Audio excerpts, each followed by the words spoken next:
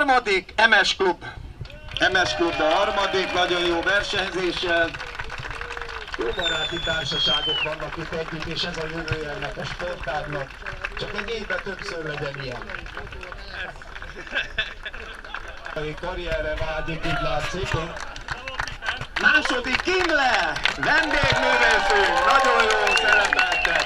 Vállalták az extra futamot is, jövőre is várjuk őket. Összeszokott hajósokat.